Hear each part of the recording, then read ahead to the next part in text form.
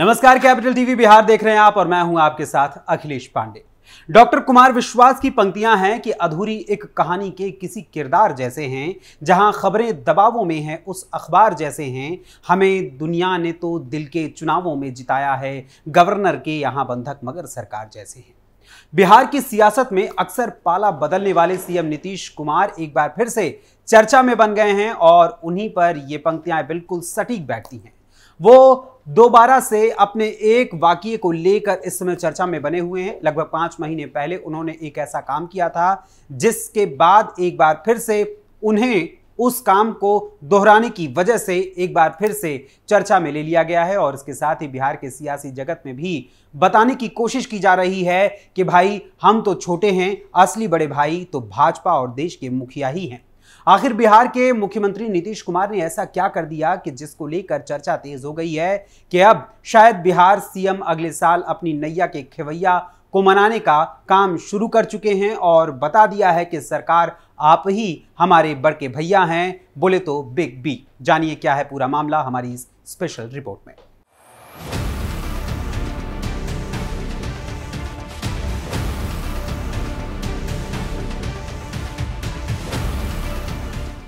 दरअसल कल प्रधानमंत्री नरेंद्र मोदी बिहार के दरभंगा पहुँचे हुए थे, जहाँ उन्होंने सीएम नीतीश कुमार के साथ बिहार के दूसरे एम्स हॉस्पिटल की आधारशिला रखी और साथ ही बारह हज़ार करोड़ रुपए से अधिक की विभिन्न योजनाओं का शिलान्यास और लोकार्पण किया।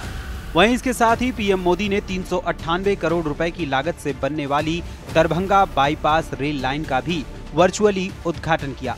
और पीएम मोदी ने मंच से ही झंझारपुर लौकहा बाज़ार ट्रेन को हरी झंडी दिखाकर रवाना भी किया और बिहार को किला शारदा सिन्हा को श्रद्धांजलि भी अर्पित की। लेकिन वहीं इसी बीच मंच पर कुछ ऐसा हुआ जो चर्चा का विषय बन गया है।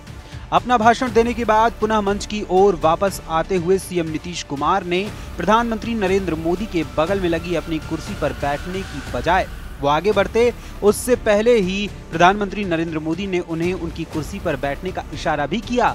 मगर सीएम नीतीश कुमार दोनों ही हाथों को फैलाकर पीएम मोदी के पैर अचानक से छूने लगते हैं और उन्हें प्रणाम करते हैं। इस पूरे कार्यक्रम से जुड़ा हुआ ये वीडियो सोशल मीडिया पर काफ़ी तेज़ी से वायरल हो रहा है, जिसमें प्रधानमंत्री नरेंद्र मोदी का पैर सीएम नीतीश कुमार छूते हुए नज़र आ रहे हैं। वहीं आपको बता दें कि ये कोई पहला मौका नहीं है जब सीएम नीतीश कुमार ने प्रधानमंत्री नरेंद्र मोदी के पाँव छुए हैं।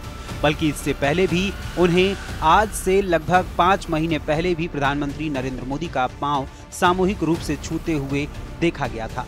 दरअसल, आज से लगभग पाँच महीने पहले जब लोकसभा चुनाव 2024 के परिणाम आए थे तो उसके बाद दिल्ली में हुई 8 जून को एनडीए के घटक दलों की बैठक में जब प्रधानमंत्री नरेंद्र मोदी को संसदीय दल का नेता चुना गया था तो उस दौरान इस गठबंधन के कुल तेरह नेताओं ने अपना भाषण दिया था। लेकिन उस समय सबसे अधिक चर्चा सीएम नीतीश कुमार के भाषण की हुई थी और साथ ही उनका एक वीडियो भी वायरल हुआ था, जिसमें मंच से भाषण देकर मंच की तरफ़ वापस आते हुए उन्होंने पीएम मोदी के पैर छूने की कोशिश की थी। हालाँकि उस समय, जैसे ही सीएम नीतीश कुमार, प्रधानमंत्री नरेंद्र मोदी का पैर छूने के लिए आगे बढ़े थे, उस समय पीएम मोदी ने उन्हें रोक लिया था और फिर नीतीश कुमार ने उन्हें सिर झुकाकर उनका अभिवादन किया था। सिर्फ़ इतना ही नहीं, बल्कि चित्रगुप्त पूजा के मौके पर कुछ दिनों पूर्व 3 नवंबर को सीएम नीतीश कुमार ने राज्यसभा के पूर्व सांसद आर के सिन्हा के भी पाँव छुए थे। उस समय मंच पर सीएम नीतीश कुमार को बुलाते हुए पूर्व सांसद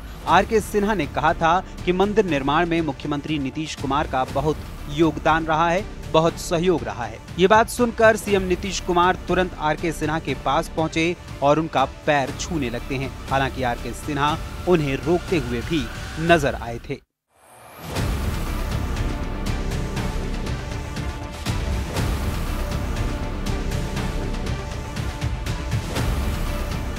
गौरतलब है कि अगले साल यानी 2025 में बिहार विधानसभा का चुनाव होने वाला है और उस चुनाव में भाजपा और जेडीयू एक दूसरे के साथ मिलकर एक दूसरे के सहारे अपनी नौका को पार करने की फिराक में लगे हुए हैं और उसी की कोशिश में भी लगे हैं। और इसी के चलते लगातार बिहार में केंद्र सरकार की ओर से विभिन्न योजनाओं का शिलान्यास और लोकार्पण करने के साथ साथ विशेष बजट भी दिया जा रहा है। वहीं अगले साल होने वाले चुनाव के लिए इस बार पुरानी पार्टियों के साथ साथ नई पार्टियों की भी बिहार में एंट्री हो चुकी है। ऐसे में निश्चित रूप से 2025 का बिहार विधानसभा चुनाव काफ़ी दिलचस्प होने वाला है। वैसे आपको क्या लगता है? बिहार के सीएम नीतीश कुमार जो पीएम मोदी के पाँव बार बार पकड़ रहे हैं, उसके पीछे का असली राज क्या है, इस बारे में हमें अपने विचार अपने कमेंट्स के माध्यम से ज़रूर बताइएगा। फ़िलहाल, अभी के लिए बस इतना ही। फिर मुलाकात होगी बिहार की किसी और खबर, किसी और मुद्दे के साथ। तब तक के लिए मुझे अनुमति दीजिए और बने रहिए कैपिटल टीवी बिहार के साथ। धन्यवाद, नमस्कार।